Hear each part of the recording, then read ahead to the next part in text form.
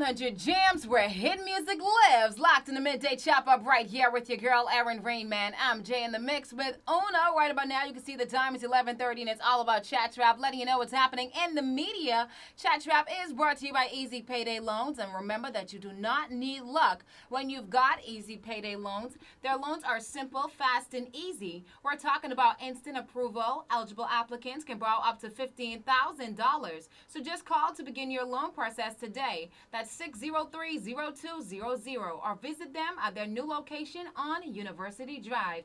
Jumping right now into all your hot news, man. So between 2020 and 2021, I do not know which year will take the award for the most divorces. Adding another famous couple to the divorce list, talking about 65 year old Bill Gates and 56 year old Melinda Gates. Can you imagine after years of being together? At 65 and 56, you really planning on departing? Really planning on getting a divorce at getting a divorce at that age? I don't know, but after 27 years of marriage, they're finally calling it quits, and the two announced their divorce in a statement on social media saying that they no longer believe they can grow together as a couple in this next phase of their lives, but they will continue to work together. So Melinda allegedly filed for the divorce and stated in the petition that their marriage was broken and it's not retrievable.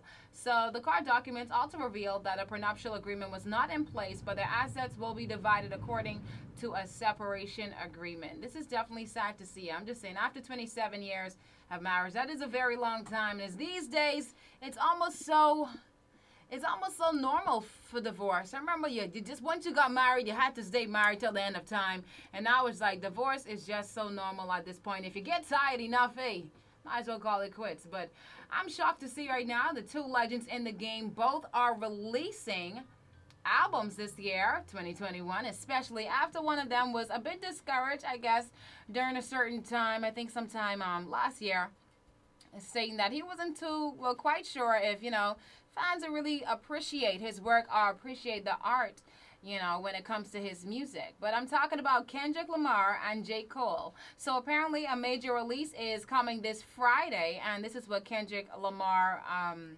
Kendrick Lamar label stated. So a lot of fans are hoping that it is Kendrick Lamar, but it's been four long years since he dropped a full length solo album, so I think it's gonna be him this Friday. So I'll keep you up to date with that. But also, J. Cole just revealed the off season, um, which is his album, and he also revealed the release date and the album cover art. So the highly anticipated album will be released on May 14th. So wait for it, and I'm pretty sure a lot of hits is on that one. But of course, today, if you don't know, it's Cinco de Mayo. So happy Cinco de Mayo to you. And a lot of us just see it as tequila and tacos you know, eat and drink like the Mexicans and just enjoy your day. But Cinco de Mayo is an annual celebration, and of course, the date is observed to commemorate the Mexican Army's victory over the French. If you didn't know, just give me a little bit of knowledge right there. But that's it for Chat Trap, letting you know what's happening in the media.